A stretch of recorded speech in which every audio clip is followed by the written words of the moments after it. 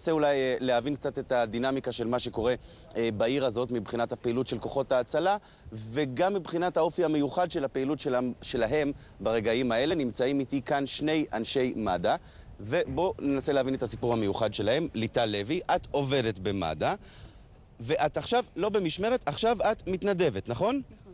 למה?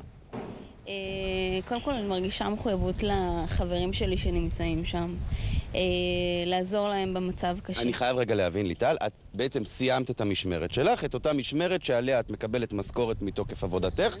ונשארת לעבוד, או חזרת הביתה לנוח, איך זה עובד? אני אה, לא הייתי במשמרת, אני הגעתי ישירות מנתיבות, אה, כאן למוקד בבאר שבע. המשמרת כרגע היא לא בתקן, המשמרת היא בהתנדבות. אה, זה- עכשיו את לא מקבלת כסף, לא מקבלת משכורת. לא מקבלת משכורת. אה, אני עושה את זה מאהבה, מחובה.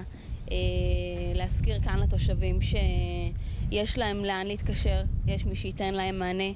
אה, אנחנו כאן כדי לעזור להם. אני רוצה לספר אה, סיפור דומה, אך שונה. שמך? ערן לוי. ערן לוי. אתה בכלל לא עובד במד"א. נכון. איפה אתה גר? אני תושב זיכרון יעקב.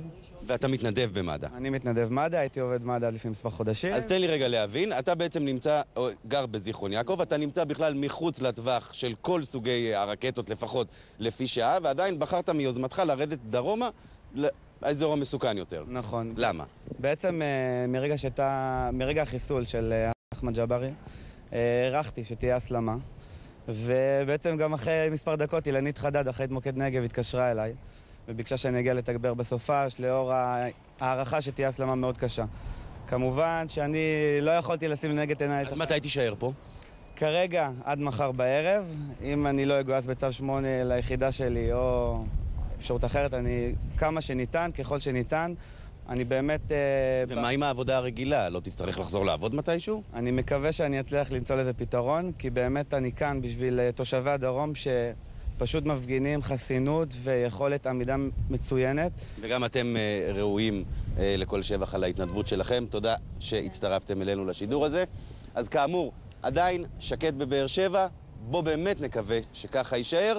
והנה, זכיתם לאיזושהי הצצה על כל מיני דברים שקורים בעיר, דברים יפים גם. בהחלט דברים יפים, ושיישארו מחוסרי עבודה. תודה רבה לך.